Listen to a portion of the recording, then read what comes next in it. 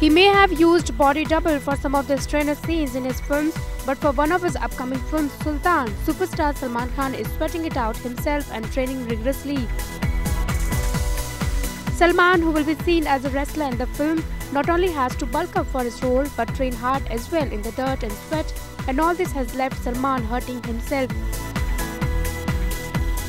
Salman, who is currently busy promoting his soon-to-release film Prem Ratan Dhan Payo, recently opened about his hard training for the film during a promotional event. The strenuous exercises are yet to start. I have one more month of training to get that done.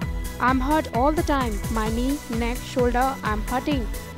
Now I feel why I did it. This is difficult. See, I can get back to a shape I was earlier, but to get into a shape I never was is harder. I'm 87 kilos right now and I have to go ripped for about 90 to 94 kilos. I just have one month to do that and I don't know how it will happen.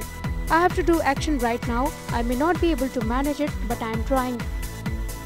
Well, Salman, we are confident that you will be able to pull out Sultan efficiently. Meanwhile, slated to release on Eid next year, Sultan is directed by Ali Abbas Zafar. The leading lady is yet to be cast. IANS report